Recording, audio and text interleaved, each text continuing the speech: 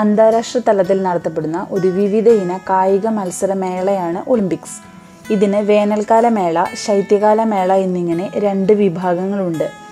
രണ്ടും നാലും വർഷം കൂടുമ്പോഴാണ് ഇവ നടത്തപ്പെടുന്നത്. ആയിരത്തി തൊള്ളായിരത്തി തൊണ്ണൂറ്റി രണ്ട് വരെ രണ്ട് മേളകളും ഒരേ വർഷം തന്നെയാണ് നടന്നിരുന്നത്.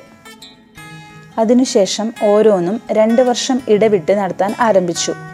രണ്ട് തലമുറയിലുള്ള ഒളിമ്പിക്സുകൾ ഉണ്ടായിട്ടുണ്ട്. പുരാതന ഒളിമ്പിക്സ് ആണ് ആദ്യത്തേത്. ഗ്രീസിലെ ഒളിമ്പിയയിലാണ് ഇത് നടത്തപ്പെട്ടിരുന്നത്. രണ്ടാം തലമുറ ഒളിമ്പിക്സ് ആധുനിക ഒളിമ്പിക്സ് എന്നാണ് അറിയപ്പെടുന്നത്. ആയിരത്തി എണ്ണൂറ്റി തൊണ്ണൂറ്റി ആറിൽ ഗ്രീസിലെ ഏതൻസിലാണ് ആദ്യ ആധുനിക ഒളിമ്പിക്സ് നടന്നത്. പുരാതന ഒളിമ്പിക്സിന്റെ ആരംഭത്തെപ്പറ്റി പല ഐതിഹ്യങ്ങളുമുണ്ട്. അവയിൽ ഏറ്റവും പ്രശസ്തമായതിൽ ഹേരക്ലീസിന്റെയും പിതാവ് സിയൂസിന്റെയും ഒളിമ്പിക്സിന്റെ ഉപജ്ഞാതാക്കളായി കണക്കാക്കുന്ന ആ ഐതിഹ്യം അനുസരിച്ച് താൻ ക്ലോണസിനെ പരാജയപ്പെടുത്തി സ്വർഗത്തിന്റെ അധിപനായതിന്റെ ഓർമ്മയ്ക്കായാണ് സിയൂസ് കായിക മത്സരങ്ങൾ നടത്തിയിരുന്നത്. അതിൽ ഒരു ഓട്ട മത്സരത്തിൽ സിയൂസിന്റെ മൂത്ത പുത്രനായ ഹെറാക്കിൽസ് സഹോദരന്മാരെ പരാജയപ്പെടുത്തി ഒന്നാം സ്ഥാനത്തെത്തി. കാട്ടൊലിവിന്റെ ഇലകൾ കൊണ്ട് നിർമ്മിച്ച കിരീടമാണ് ഹെറാക്കിൾസിന് സമ്മാനമായി ലഭിച്ചത്. ഐതിഹ്യമനുസരിച്ച് ഹെറാക്കിൾസ് ആണ് ഒളിമ്പിക്സ് എന്ന പേര് ആദ്യമായി ഉപയോഗിച്ചതും നാല് വർഷം കൂടുമ്പോൾ നടത്തുന്ന സമ്പ്രദായം നടപ്പിലാക്കിയതും. എന്നാൽ ഇവിടെ നിന്ന് ഐതിഹ്യം പലതായി വേർപിരിഞ്ഞു. അവയിൽ പ്രശസ്തമായ ഒരു കഥ ഇങ്ങനെയാണ്. ഡൽഫിയയിൽ പ്രവാചകന്റെ നിർദ്ദേശപ്രകാരം തനിക്ക് ലഭിച്ച പന്ത്രണ്ട് ദൗത്യങ്ങൾ നിർവഹിച്ച ശേഷം ഒളിമ്പിക്സ് സ്റ്റേഡിയവും അനുബന്ധ കെട്ടിടങ്ങളും സിയൂസിന്റെ ബഹുമാനാർത്ഥം നിർമ്മിച്ചു. സ്റ്റേഡിയം നിർമ്മിച്ച ശേഷം നേർരേഖയിൽ ഇരുന്നൂറ് ചുവടുകൾ വെക്കുകയും ആ ദൂരത്തെ സ്റ്റേഡിയോൺ എന്ന് വിളിക്കുകയും ചെയ്തു.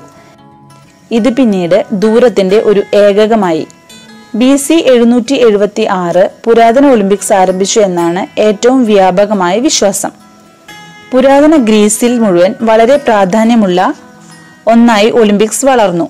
ബി സി ആറ് അഞ്ച് നൂറ്റാണ്ടുകളിൽ പുരാതന ഒളിമ്പിക്സ് അതിന്റെ പാരമ്യത്തിൽ വളരെ മതപ്രാധാന്യമുള്ളതായിരുന്നു ഒളിമ്പിക്സ്. മത്സരാർത്ഥികൾ സിയൂസിനും പെലോക്സിനും വേണ്ടി യാഗങ്ങൾ നടത്തിയിരുന്നു. മത്സര ഇനങ്ങളുടെ എണ്ണം ഇരുപതായും ആഘോഷങ്ങൾ ഏഴു ദിവസമായും വർദ്ധിക്കപ്പെട്ടു. വിജയികൾ വളരെ ആരാധിക്കപ്പെട്ടിരുന്നു. കവിതകളിലൂടെയും ശില്പങ്ങളിലൂടെയും അവർ അനശ്വരരായി തീർന്നു. നാല് വർഷങ്ങൾ കൂടുമ്പോഴാണ് ഒളിമ്പിക്സ് നടത്തപ്പെട്ടിരുന്നത്. രണ്ട് ഒളിമ്പിക്സുകൾക്കിടയിലുള്ള കാലം ഒരു ഒളിമ്പ്യൻ എന്നാണ് വിളിക്കപ്പെട്ടിരുന്നത്. ഗ്രീക്കുകാർ ഒളിമ്പ്യാഡ് ഒരു ഏകകമായി ഉപയോഗിച്ചിരുന്നു.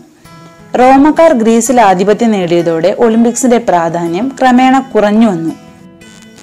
എ ഡി മുന്നൂറ്റി തൊണ്ണൂറ്റി മൂന്നിലെ ചക്രവർത്തിയായിരുന്ന തിയോഡോഷ്യസ് ഒന്നാമൻ ക്രിസ്തുമതം റോമാ സാമ്രാജ്യത്തിന്റെ ഔദ്യോഗിക മതമായി പ്രഖ്യാപിക്കുകയും പേഗൻ ആചാരാനുഷ്ഠാനങ്ങൾ നിരോധിക്കുകയും ചെയ്തു. പേഗൻ ആചാരങ്ങൾ എന്ന നിലയിൽ അതോടെ ഒളിമ്പിക്സും നിർത്തലാക്കപ്പെട്ടു. പിന്നീട് ആയിരത്തഞ്ഞൂറ് വർഷങ്ങൾക്ക് ശേഷമുണ്ടായ പുനർജന്മം വരെ ഒളിമ്പിക്സ് നടത്തപ്പെട്ടിട്ടേയില്ല പരസ്പരം കോർത്ത അഞ്ച് വളയങ്ങളാണ് ഒളിമ്പിക്സിന്റെ ചിഹ്നം. ഇവ അഞ്ച് ഭൂഖണ്ഡങ്ങളെ സൂചിപ്പിക്കുന്നു. ഇവ സൂചിപ്പിക്കുന്ന ഭൂഖണ്ഡങ്ങൾ ഇവയാണ്. മഞ്ഞ ഏഷ്യ കറുപ്പ് ആഫ്രിക്ക നീല യൂറോപ്പ് പച്ച ഓസ്ട്രേലിയ ചുവപ്പ് അമേരിക്ക. വെളുത്ത നിറമാണ് പതാകയ്ക്ക്. ഇതിൽ അഞ്ചു വളയങ്ങൾ ആലേഖനം ചെയ്തിരിക്കുന്നു. പിയറി ക്യുബോട്ടിനാണ് ഒളിമ്പിക്സ് വളയങ്ങൾ രൂപകൽപ്പന ചെയ്തത്. ആയിരത്തി തൊള്ളായിരത്തി ഇരുപതിലെ ആൽവൃദ് ഒളിമ്പിക്സ് മുതലാണ് ഈ പതാക ഉപയോഗിച്ചു തുടങ്ങിയത്. ഇന്നിവിടെ വീണ്ടും ഒളിമ്പിക്സിന്റെ തിരശ്ശീല ഉയരുമ്പോൾ കോവിഡ് മഹാമാരിക്കിടയിൽ ഒരേ മനസ്സോടെ നിറഞ്ഞ ആർപ്പുവിളികളോടെ ടോക്കിയോയിലേക്ക് മനസ്സുകൊണ്ട് നമുക്കും എത്തിച്ചേരാം.